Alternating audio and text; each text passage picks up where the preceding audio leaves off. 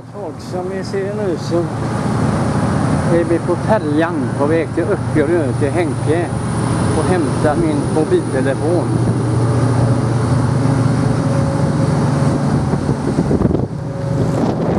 Är färjan till Öckerö. Vad fint det är här. Det gäller att hålla i kepsen så att det där blåser av. Folk är ute och seglar och här kommer en färja som eh, sneddar över här och här med bilarna. Här har vi färjan, den heter Ada. Den ska ut och bada. Ambulansen är här och... Ja, så här ser det ut mina vänner.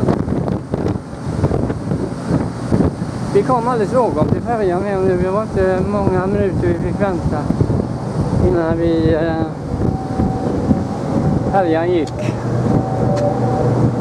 Här borta är då färjeläget eh, Öckerö. Och här ute ser ni havet.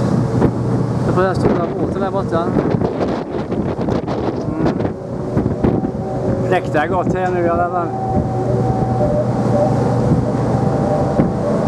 De går som spårvagnar här de här jävla färgerna.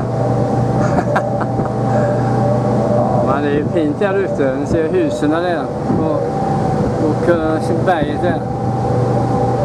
Men jag skulle aldrig kunna tänka mig att bo här permanent. när man ska inte till stan. Det är ett jävla piss med färger och skit och hålla tider. Och... Ja, det är Tidöavtalet kan man väl säga då. Ja, så, så ser det ut. Ada ska ut och bada. Jajamän, här ser ni bilarna här.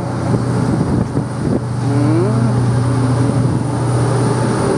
Det är inte så många bilar den här gången nu. Det var väldigt lite bilar. Ja, här sitter hon, eh, chauffören här. Ja.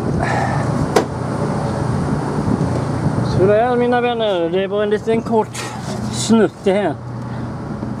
Det kallas för kortsnutt. Tjingeling från färjan.